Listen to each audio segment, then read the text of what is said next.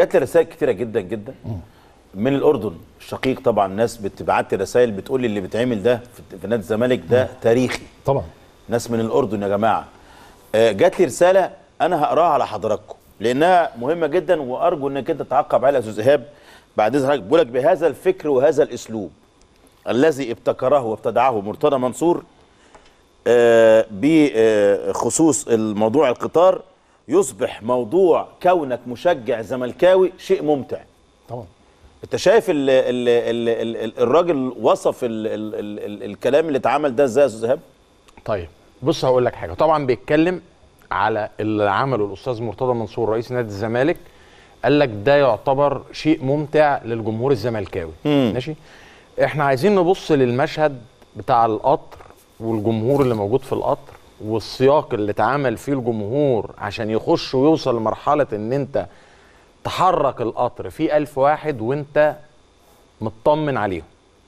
النهارده آه، زميلنا ساهر لما بيسجل بيسجل مع بنت البنت اللي كانت قاعدة في المدرج. تخيل والد البنت دي وأسرتها مطمنين عليها إن هي تسافر أسوان تروح تشجع الزمالك هتسافر النهارده وتيجي بكرة بإذن الله وهم مطمنين عليها أمن وأمان مع رئيس نادي اسمه مرتضى منصور. ده النهارده بيعكس لك قد إيه المستوى الحضاري اللي وصل له جمهور الزمالك في عهد المستشار مرتضى منصور.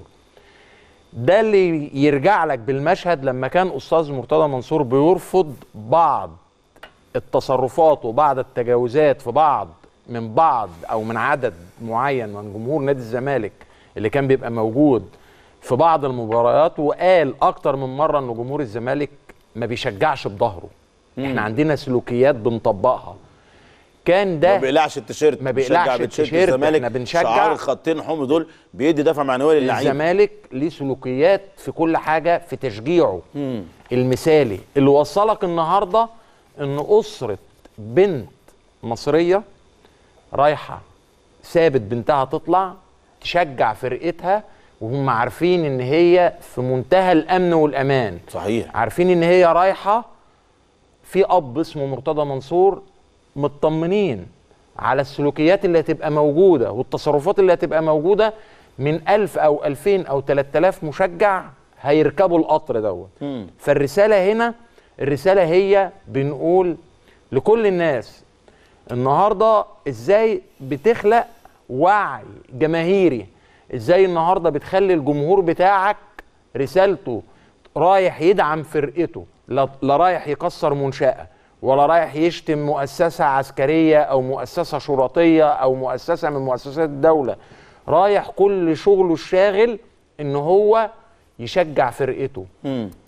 الوسيلة الوسيلة اللي أنت رايح فيها دي الناس دي رايحة كده ومطمنين وعارفين إن هم رايحين في أب يعني إحنا هم إحنا في كفالة مرتضى منصور حتى الأب. يوصلوا يروحوا ويرجعوا تاني الحقيقة هو الأب عارف إنه- بتاعهم هو عارف إنه آمن على بنته. بالظبط. آمن على ابنه.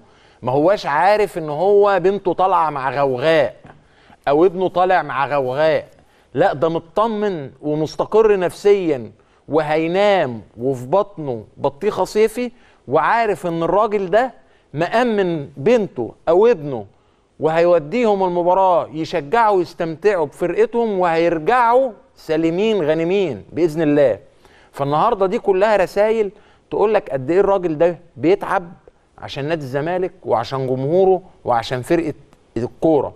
مفيش حد فينا كان يتوقع أو كان يتخيل إن الزمالك رايح يلعب في أسوان إن في رئيس النادي قاعد بيفكر أكتر من أسبوع وعمال يرتب جوه دماغه إزاي ينقل الجمهور بتاع نادي الزمالك على كفوف الراحة إن هو يبقى جوه ملعب أسوان يفر يتفرج على فرقته. صحيح. لا فكر في توقيت ولا فكر إزاي يعني ال- المفروض في أي حاجة في الدنيا بيجي عامل الوقت يقول لك الوقت القطر ده هيوصل الساعة 2 الأو- الو- القطر ده هيوصل الساعة 3 كان ممكن هو مشاها في الأمور العادية والحجز حجز عادي وكانت اللعيبة الجماهير وصلت قبل الماتش بيوم أو بعد الماتش بثلاث ساعات. هو فكر إزاي يتعامل مع الموقف وتواصل مع الجهات الم- المسؤولة وقدر إن هو يوفر الوسيلة ديت اللي تبص هتقف قدامها كتير قوي قوي قوي قوي. اللي بيجيب ميكروباص أو بيجيب أتوبيس أو يجيب أتوبيسين يوديهم محافظه بتبعد عن القاهرة ساعة أو ساعتين بيقعد يفكر فيها شهر أو شهرين. ويقعد يعمل آه، دعاية ويعمل إعلان وهيجيب التذكرة مخفضة. النهارده أنت واخد 2000 أو 3000 واحد موديهم يعني أنا أسوان دي بص 12 ساعة. طبعا. 12 ساعة. يوم يوم سفر. يوم سفر ورايح ويوم سفر جاي. صح. وأنت كمان مطلع كتيبة من رجالتك. من جوه النادي الزمالك مدير التنفيذي مطلع انت محرك كل جهودك ومسخرها عشان تأمن ولادك اللي رايحين يشجعوا فرقتهم. فتحية وتقدير ومليون شابوه للأستاذ مرتضى منصور إن هو بيشتغل وبيسعى في ظل الظروف الصعبة اللي واجهت الزمالك خلال الفترة اللي فاتت دي. واحد غيره كان يقول لك إيه؟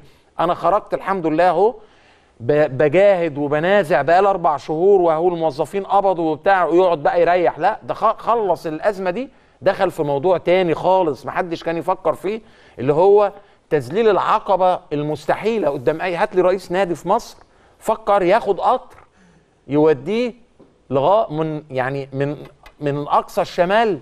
لأقصى الجنوب. يعني أنت لو جبت الخريطة أنت بينك وبين اسكن يعني الخريطة فاضلة بس حوالي إسكندرية. بس اللي واقعه منه. دي 1000 كيلو بس. إسكندرية بس اللي واقعه منه هو واخدهم من شمال مصر لجنوبها. فالنهاردة أنت بتتكلم على حاجة مستحيلة الحدوث حاجة ما كانتش هتيجي في عقل أي حد إن هو هيعمل كده. وده عشان كده ربنا تملي بيكلل الجهود دي بالنجاح لأن من جد وجد.